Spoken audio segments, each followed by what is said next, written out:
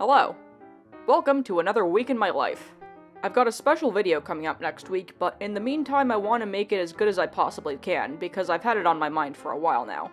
So while that's cooking, here's everything that happened at the Cup of Chamomile household this week. Right after I uploaded my most recent video on Monday, I decided to start another book, which was the third and final volume of Mars Red. I got halfway through that volume and then I pretty much spent the rest of my night relaxing and drawing some stuff. I spent part of that time figuring out the design for a minor villain for my webcomic, which has been on my mind a lot lately. Uh, sorry in advance because there's gonna be more where this came from. Ha ha ha! A majority of the character designs were based on different animals, and this character in particular was based on the rosy maple moth, and I tried replicating those colors in her design.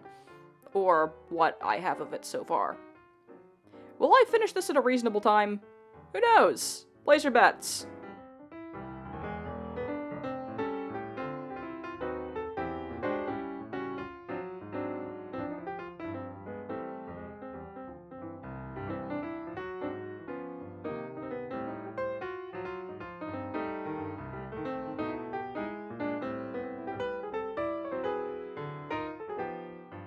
I started the next day off with some exquisite lunch. Just kidding, I don't remember what I ate. And then I continued to work on my painting that I uh, need to finish.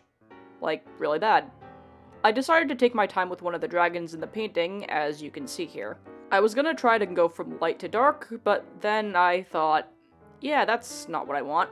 So I went over the dragon's body with the darkest color first and filled in the scales.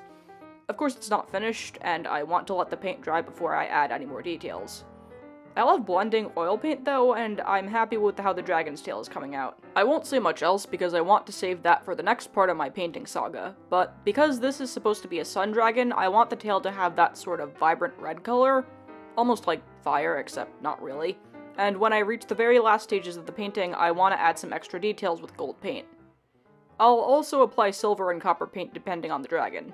So the moon dragon is getting silver details, and the rock dragon will most likely get copper details, for instance.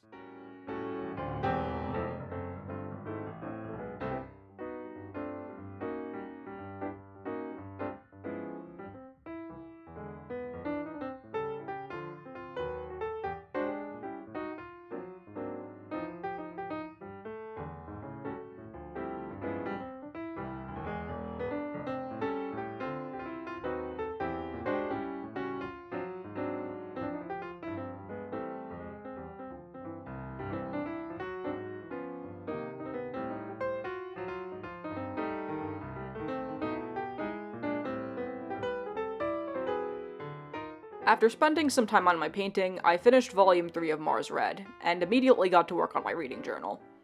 Even though I was satisfied by the ending, I am still bummed that volume 3 is the last one. Needless to say, I think you can expect the series to get at least one mention when I list the best books I read at the end of this year. It's still a little too soon to finalize the top 5, though. I mean, it's October, we still have two months left. I did entertain the idea of a top 10, but the very idea of that sounds overwhelming, even though this has been my best reading year in five years. Why are decisions so hard?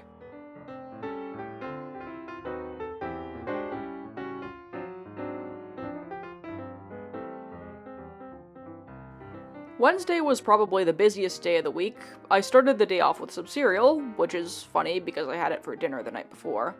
Mmm, cereal. I probably spent the majority of my day doing work, including working on my painting, and finishing up the script for a chapter of my webcomic. Also, the writing on the back of my robe thing is true. I love Halloween. Teehee!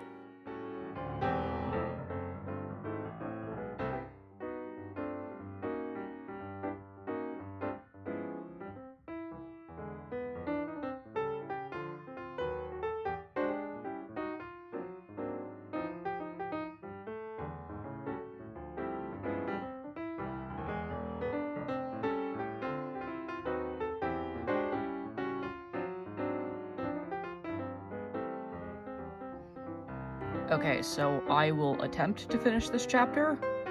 Um, I'll do everything I can to possibly finish it tonight, because if not, I'm going to cry. Uh, yeah.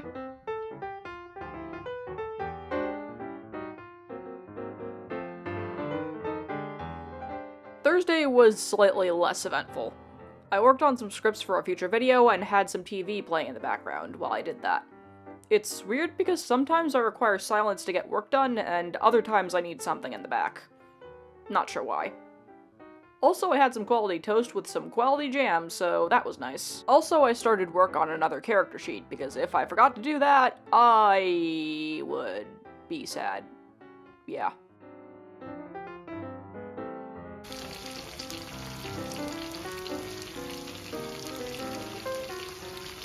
I don't have a lot of footage from Friday, but I had corned beef for lunch. Man, I love corned beef. And also, I got some more work done.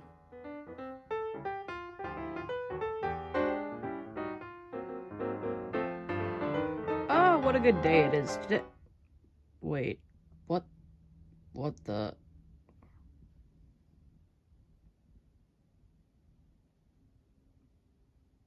Uh, okay.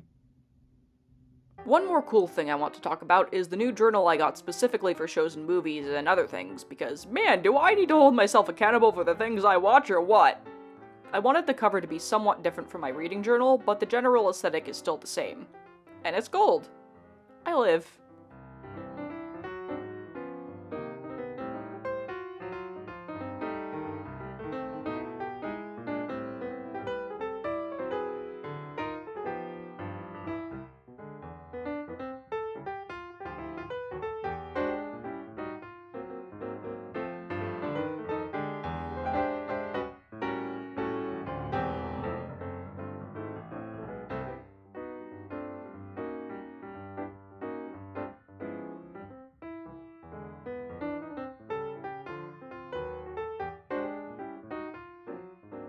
That's about all that happened in the last week or so. I have about 200 pages left in The Witches of New York, and I am in love.